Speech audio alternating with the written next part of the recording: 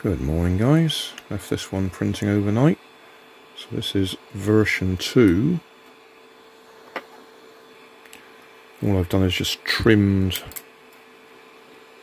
some of the settings.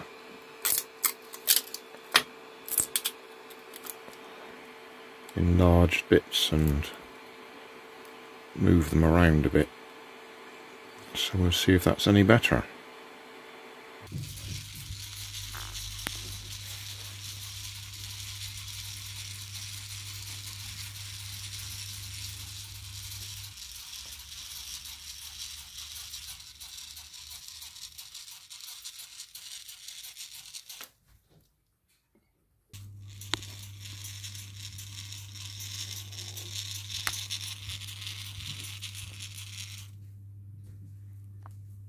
Thanks for watching.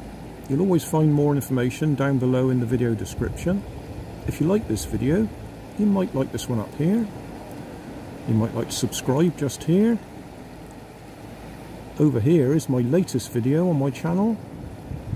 And down below is a playlist related to what you've just been watching. Thanks again for watching.